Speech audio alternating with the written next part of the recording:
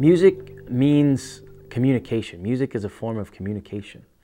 And it's um, one of the only mediums when we have words and music together that we can communicate ideas and emotions. It's one of the most powerful way to communicate. Here at, at the Music Academy, we have a community and a culture of learning where we encourage music and creativity and uh, an open attitude.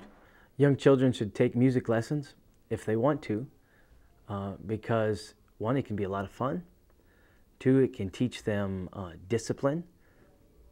And it, it starts to uh, order their brain in a logical way. For children who don't know yet know how to read or don't know read well, learning to read music um, is, a, is a precursor for that and helps learning to read easier. And uh, music is very logical, and learning anything that way just helps you learn everything.